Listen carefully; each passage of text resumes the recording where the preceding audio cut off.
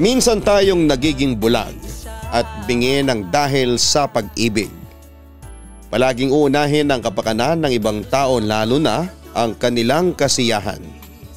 Kahit pa nga ito ay pwedeng maging dahilan ng ating pighati. Dear Papa Dudut, Magandang araw po sa inyo at ngayon pa lamang po ay nagpapasalamat na ako. At kung mapili po ninyong mabasa sa inyong programa, ang aking liham ay isa na po ako sa mga pinakamasayang tagahanga mo. Halos limang taon na rin po simula noong maging solid ka-istorya po ako. Hindi po kasi talaga nakakasawa ang pakinggan ng mga kwento ng mga listeners natin. Kaya nga po kung mapili ang sulat ko ay taus puso ang aking pagpapasalamat. Ako po si Sanya at taga-Pasay po ako. Sa Cavite po talaga ako lumaki pero simula noong magkaroon ako ng work ay napadpad na po ako sa Pasay. Habang nagtatrabaho po ako ay nakilala ko ang boyfriend ko na si Jericho na ngayon po ay ex ko na. Sino ba naman kasing mag-aakala na yung nakasama mo sa iisang bubong ng halos magdadalawang taon ay niloloko ka lang pala. Sino ba naman ang mag-iisip Nasa loob ng almost 2 years namin na magka-live-in ay ako pala ang kirida. Tama po. Medyo nahiya po ako sa sarili ko noong nalaman ko yon. Ang lakas pa naman ng loob ko na awayin ng mga pinagsilosan ko dati. Pero sa mga nakakaalam ng tunay na role ko sa buhay ni Jericho ay pinagtatawanan nila ako ngayon. Ilang beses ko po kasing nahuli si Jericho na may kausap sa cellphone lalo na sa madaling araw. Pero sa tuwing titingnan ko ang call history niya ay borado na ang lahat. Sinasabi niya na binura na lang daw niya. Kesa maging dahilan na naman para mang-away ako ng isang inosenteng tao. Minsan po kasi ay sinasabi niya na client daw po niya yung kausap niya. Isa po kasi siyang engineer kaya po minsan ay hindi ko siya nakakasama ng dalawang linggo lalo na kung malayo ang lugar kung saan ay kailangan niyang magtrabaho. Dinadahilan niya sa akin na pag-aawayan lang naman daw namin kung may makikita akong number sa call history niya. Kaya dinidelete niya na lamang. Pero mas kumukulo ang dugo ko sa tuwing dinidelete niya yon, mas pakiramdam ko kasi ay may tinatago siya sa akin. Ang masakit pa doon, pakiramdam ko, ay hindi niya ako gusto talagang pakasalan. At kapag sinasabi ko yon sa kanya ay mas nakikita ko na wala talaga siyang balak na pakasalan ako. Ah mahal, kailangan pa ba yun? Masaya naman tayo eh. Mahal naman natin yung isa't isa. Kailangan ba talaga magpakasal tayo? Tanong pa sa akin ni Jericho na lalo kong kinainis. E ano palang gusto mo? Aanakan mo lang ako pero hindi mo ako pakakasalan? Inis na weak ako. Ganun naman na ngayon eh. Halos lahat naman live-in na lang. Ang sabi naman niya. So wala ka pala talagang balak pakasalan ako. Eh ano tong ginagawa natin? Joke lang ba to sa'yo? Buisit ka? Maghiwalay na lang tayo kung ganoon lang din pala. Naiiyak na sabi ko. Mahal naman, wala naman akong sinasabing hindi kita pakakasalan. Ang ibig ko kasing sabihin ay hindi pa ito yung tamang oras. Wala pa nga tayong ipon eh, siguro after 2 years pwede na. Pagdadahilan naman niya. After 2 years? Sa'yo okay lang yon kasi lalaki ka eh paano naman ako? Ilang taon na lang eh, lagpas na ako sa kalendaryo. Jericho naman, gusto ko namang maranasang ikasal. At saka engineer ka tapos wala kang pera. Saan ba napupunta yung mga pera mo? Inis na tanong ko. Di ba sinabi ko naman sa'yo, kailangan nila mama ng pera. Siguro wag na lang muna nating pag-usapan yan. Mas lalo lang lumalala eh yung inis mo. At saka meron na naman tayong isa pang pangarap hindi ba? Mag-travel-travel na lang muna tayo. Punta tayo sa ibang bansa. Huwag muna nating madaliin or date na lang tayo. Day off mo naman. Tugon niya. Ewan ko sa'yo. Wala ako sa mood lumabas. Matutulog na lang ako. Wala kang pera pero may pangpunta ka ng ibang bansa. Bahala ka na sa buhay mo. Singhal ko sa kanya. Simula po noong mapag-usapan namin ang pagpapakasal ay naging cold po sa akin si Jericho. Hindi ko po alam kung bakit medyo disappointed tuloy ako. Natuloy naman po ang date namin noong araw na yon pero hindi po kasing sweet tulad noong ibang naging date namin. At sa tuwing itatanong ko sa kanya ang tungkol sa pag-aasawa ay laging buntong hininga ang sinasagot niya at mag-iiba ng topic. Sa tingin ko po ay hindi pa talaga siya handang pasukin ng buhay may asawa. Kahit na yung mga ginagawa naman namin ay parang mag-asawa rin. Yun nga lang ay hindi kami kasal. Ilang araw lang po ang lumipas ay nakita ko na naman na may kausap sa cellphone si Jericho.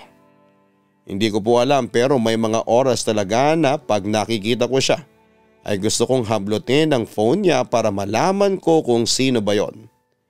Hindi naman kasi ako ganon kapag alam ko talaga na kliyente niya lang. Iba kasi ang galaw niya pati ang ekspresyon ng mukha niya at sa tuwing nararamdaman niya na lalapit na ako ay ibababa na niya at buburahin na lang ang lahat ng call history. Kaya wala na naman akong makikitang kahit na ano. Isang linggo rin po ang dumaan na wala kaming tampuhan na naranasan.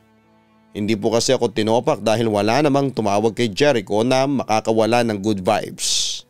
Smooth lang po para sa aming dalawa ang isang linggong dumaan pero Pagkatapos po noon ay kailangan nang umalis ulit ni Jericho dahil tinatawag na naman siya ng trabaho niya sa malayong lugar at kailangan niyang magstay in doon. Okay naman kami noong mga dumaang araw na malayo kami sa isa't isa pero may kapalit pala ang lahat ng yon dahil nalaman ko na may mapait na katotohanan noong pumunta po ako sa isang mall para bumili ng bagong makeup at nakita ko si Jericho na may kasamang ibang babae sa loob ng isang coffee shop. Kaya naman kagad ko silang sinugod para kumprontahin. Kaya lang nagulat ako nang sabihin ni Jericho sa babaeng kasama niya na ex-girlfriend niya na lamang daw ako at tigilan ko na raw ang panggugulo sa kanila. Teka, ako pa yun ang gugulo? Ano to Jericho? Ano naman tong kalokohan na ito? Pigil ang galit at luha na tanong ko. Totoo naman sa niya. Matagal na tayong tapos sana hindi mo na kami ginugulo. Kaagad na tugon pa ni Jericho. Gago ka? Wala akong ginugulo. Ikaw ang nanluloko. Wala akong ginagawang masama sa iyo. Lahat-lahat binigay ko sa iyo pagkatapos ng halos dalawang taon. Ganito lang ang isusukli mo sa akin. Buisit ka Jericho. Napakawalang kwenta mong lalaki. Kaya ikaw babae ka. Ganito lang din yung gagawin niya sa iyo. Kaya kung ayain ka man ng kasal ng taong to, wag na wag kang papayag. Kasi sakit ng ulo lang yan. Baling ko sa babaeng kasama niya. Nakakaawa ka naman. Mukhang masyado kang nasaktan ng asawa ko. Pagtawa ng babae. Anong ibig mong sabihin na asawa mo? Naguguluhang tanong ko. Mag-asawa kami kasal legal. Kaya ikaw, ikaw ang pampalipas oras. Kaya kung hindi ka pa aalis sa harapan namin ngayon, baka ikaw ang kalad ka rin ko palabas. Wika niya sa akin. Naiyak ako na binaling ang tingin kay Jericho. May asawa ka na? Tanong ko. Oo, kaya umalis ka na, please lang. Pinagtitinginan tayo ng mga tao. Saan niya matagal na tayong tapos, hindi ba? Mahal ko yung asawa ko at hindi ko sila magagawang iwan ng anak namin. Kaya umalis ka na lang pagtataboy niya sa akin. Tinitigan ko muna siya sa mata bago ako tuluyang umalis. Parang gusto ko pong bumagsak na lamang ng mga oras na yon, papadudot. May anak na rin pala siya. Grabe ang ginawang panloloko sa akin ni Jericho. Hindi ko lubos maisip kung papaano niya yon na itago sa akin nang hindi ko man lang napansin. Ang lakas pa ng loob kong sugurin sila kaya pala hindi gaanong nagulat ang asawa niya sa ginawa ko dahil siya pala ang tunay na asawa. Siguro ngayon ay pinagtatawanan na niya ako. Masyado akong naniwala sa mga pangako niya sa akin at ang sabi pa niya ay gagawa kami ng sariling pamilya. Ang tigas talaga ng mukha ng lalaking yon. Akala ko pa naman ay nangangabit na siya sa ibang lugar, yon pala ay ako ang kabit niya. Parang gusto kong sakalin si Jericho sa mga oras na ito. Kahit kailan ay hindi ko pinangarap ang maging isang kabit. Nasayang tuloy ang taon na sana'y nakahanap ako ng lalaking kaya akong ipagmalaki sa maraming tao. Hindi na po nagparamdam sa akin si Jericho pagkatapos nung nangyari sa amin sa mall. Wala pong gabi ang dumaan na hindi ako umiiyak. Nasa bahay ang iba niyang gamit dahil hindi naman niya inasahan na yun na ang huling araw niya sa bahay noong umalis siya. Kaya naman po kahit mag-iisang linggo na ang lumipas ay naaamoy ko pa rin siya. Minsan nga po ay kinukuha ko ang mga damit niya na nasa labahan para amoy-amoyin ko yon. Pagkatapos ay iiyak na naman ako. Kaya ang ginagawa ko po ay bago ko umuwi sa bahay ay dumadaan muna ako sa convenience store. At bibili ako ng alak, magpapakalasing ako at mag-a-alarm na lamang para makapasok pa rin ako the next day. Hindi po naging madali sa akin yon dahil nagtatrabaho ako sa isang restaurant at ng mga panahon na yon ay dagsaan ng mga customers Isang beses nga po ay napagsabihan ako ng manager namin na wag ko daw dalhin sa trabaho ang problema ko. Kung hindi naman po kasi ako iinom ay hindi ako makakatulog kaagad sa gabi. Wala naman po akong choice, mas mahalaga sa akin ang trabaho ko.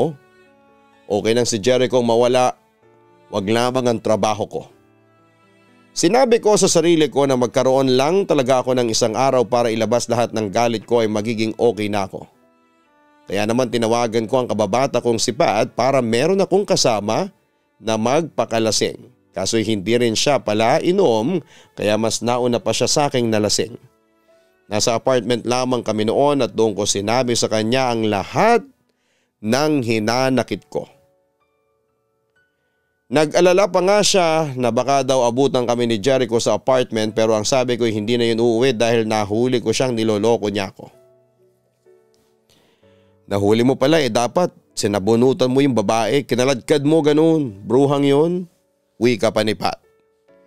Yan nga eh buti hindi ko kinaladkad pero sinabihan ko siya ng kabit na pampalipas oras lang siya ng kung ano-ano. Ang sabi ko naman. E tapos, e di umiyak siya sa harapan mo. Pag-uusisa pa ni Pat. Tapos yun pala yung totoong asawa. Napapailing na kwento ko. Ha? May asawa na si Jericho? Hindi makapaniwalang tanong ni Pat. Oo nga, nagulat nga rin ako eh. Tugon ko na kinatawa niya ng bigla. May nakakatawa ba doon? Tanong ko. Kasi girl, sinabihan ko ng kabit yung tunay na asawa. Tapos ikaw pala yung kabit. Biruin mo ha, tinatawag mo yung tunay na asawa na kabit. Nakakahiya yun, pero nakakatawa din Pagtawa pa niya. Alam mo para lang akong nag-aaksaya ng pera, buwisit ka. Alam mo kung ano yung problema pero ikaw yung nagpapakalasing. Ang laking tulong mo no, matulog ka na nga lang, lalo lang ako nalungkot eh. Inis na wika ko. Akala ko po ay makakatulong ang kaibigan ko pero mas lalo lamang ako nalungkot. Pinamukha niya pa talaga sa akin na nakakahiya talaga ang ginawa kong yon. Pag naaalala ko nga po yun ay parang gusto ko na lamang magpakalunod sa kahihiyan. Hindi naman nakatulong si Pat, gumasos lamang ako ng pera para pagtawanan niya ako. Nakakainis din dahil hindi naman siya sanay uminom pero kung makalaklak ng alak ay akala mo ay mauubusan. Noong gabi pong yon ay umiyak na lamang ako na mag-isa. Bagsak na po kasi sa kama ang kaibigan ko kaya wala pa rin akong karamay.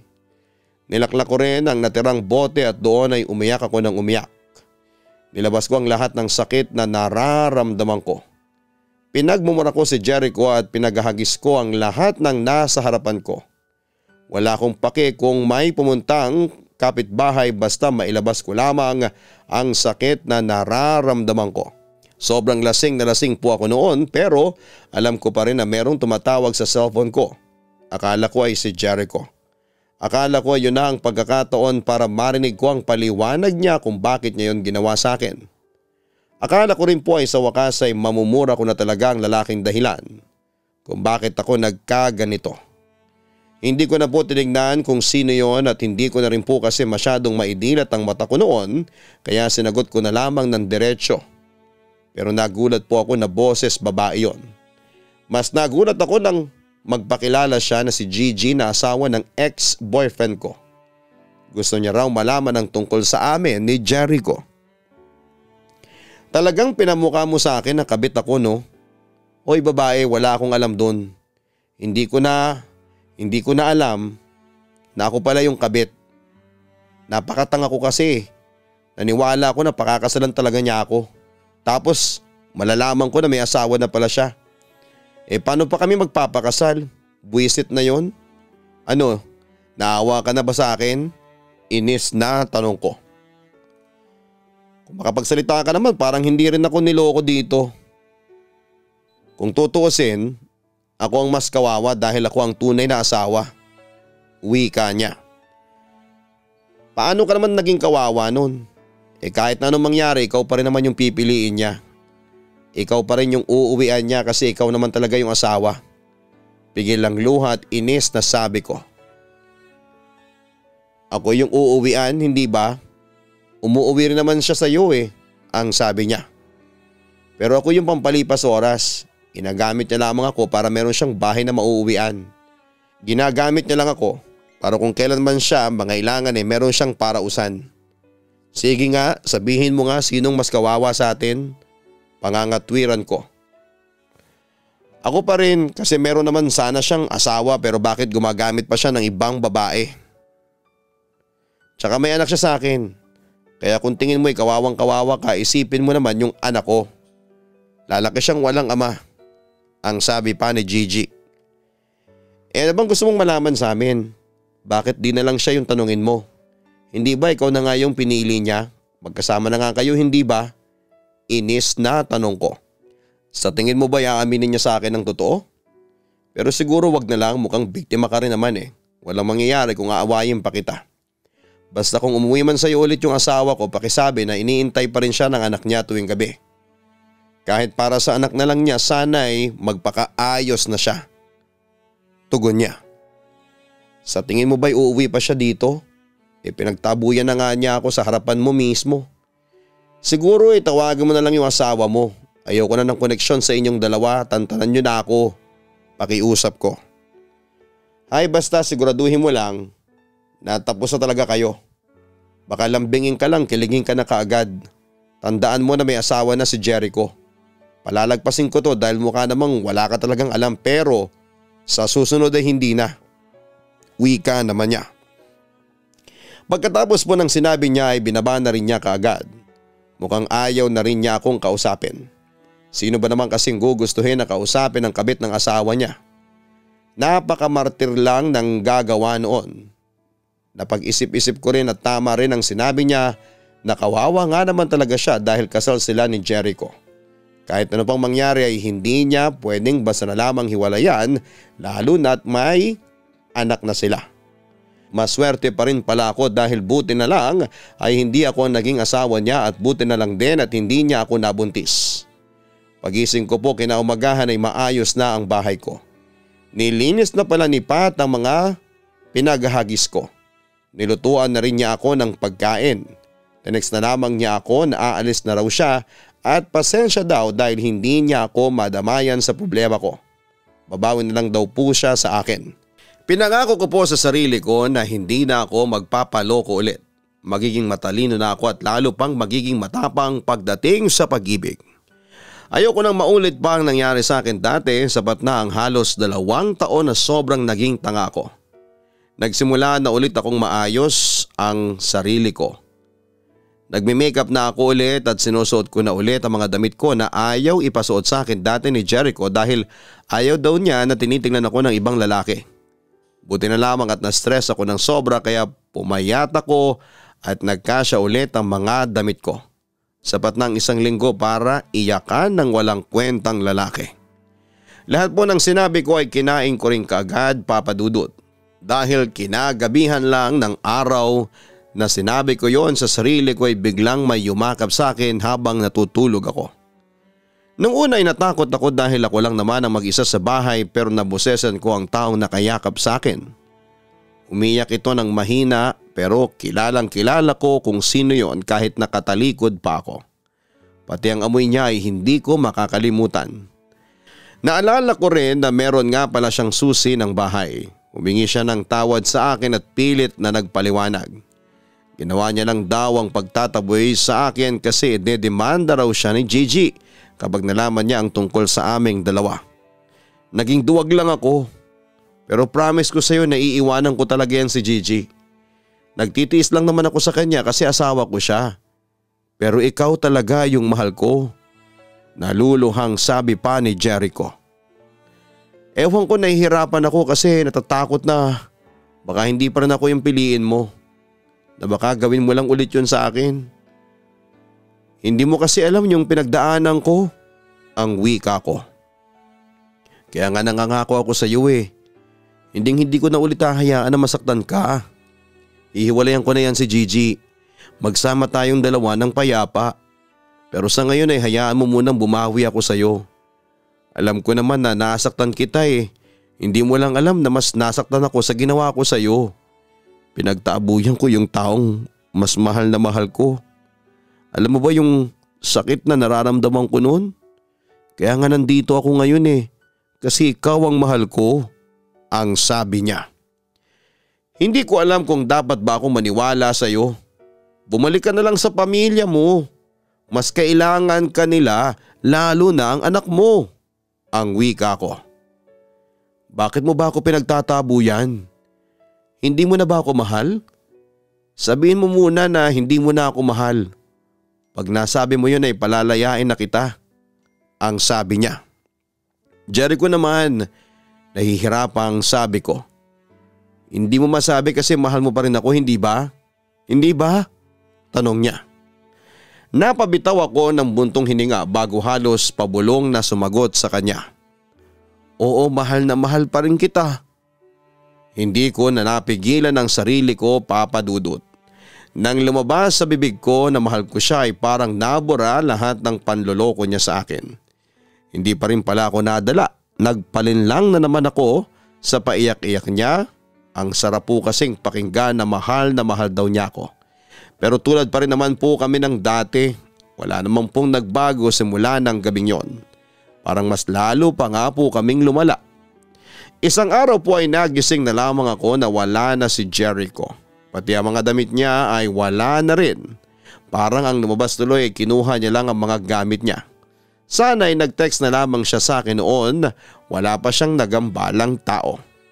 Nakita ko po kasi sa lamesa ang duplicate ng susi ng bahay kaya sigurado ako na hindi na nga siya babalik.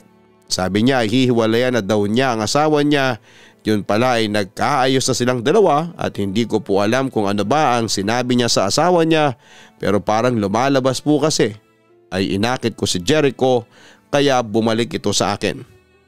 Doon ako nag-decide na tuluyan ng putulin lahat ng koneksyon ko sa kanya. Ayoko pong maghabol at makipagtalo pa. Nakakapagod na ang paulit-ulit na pangyayari kaya blinako na siya at ang asawa niya para hindi na nila ako matawagan at wala na akong ma-receive na message galing sa kanilang dalawa. Baka kasi makipagbalikan na naman sa akin si Jericho at sa tingin ko rin po ay panalo ako sa sagutan namin ni Gigi. Tama naman ako eh. Pwede pa talaga akong makahanap ng matinong lalaki pero siya ay hindi na. Buti na lang din pala at pumasok ako sa coffee shop noon dahil kung hindi ay Baka hanggang ngayon ay nag enjoy pa rin si Jericho sa dalawang bahay na inuuwian niya. Sakto rin naman po na dumating ang pinsang kong lalaki galing sa ibang bansa. Nagpicture po kami at yun ang ginamit kong profile picture para kunwari ay may boyfriend na ako. May mga nag-comment nga po na nagtatanong kung boyfriend ko daw ba yon. Hindi ko na lamang po sila nireplyan pero nag-react ako ng heart sa mga comments para hindi halata masyado. Yan po ang mapait kong kwentong pag-ibig at sana po ay wag na itong mangyari sa mga kaistorya natin. Sana'y makahanap sila ng tapat na lalaki. Maraming salamat po sa inyong YouTube channel, Papa Dudut. More powers and blessings. Hanggang dito na lamang, Sanya. Alam mo Sanya, hindi kasalanan ng magkamali minsan pagdating sa usaping pag-ibig. Minsan nga kahit na alam na nating mali ay patuloy nating ginagawa dahil doon tayo masaya. Kagaya na lamang na nangyari sa ating letter sender na si Sanya, mga ka-online, alam niya ang posibilidad na masaktan siya sa relasyon nila noon ni Jericho. Pero mas pinili niyang sumugal para saglit na maging masaya. Sa huli ay natutunan niya ang pagkakamaling nagawa niya at nagbigay ng mas mataas na respeto para sa kanyang sarili. Huwag kalimutan na mag-like, share, and subscribe. Suportahan din po ang mga reliever ni Papa Dudut sa channel na ito dahil kung minsan po tayo po ay namamalat o nagkakasakit. Pero dahil mahal namin kayo, kaya patuloy kami sa pagpo-post kahit na may mga reliever si Papa Dudut. Maraming salamat po sa inyong lahat mga ka-online. Ang buhay ay mahiwaga Laging may lungkot at saya. Sa papadudod stories Laging may karamay ka.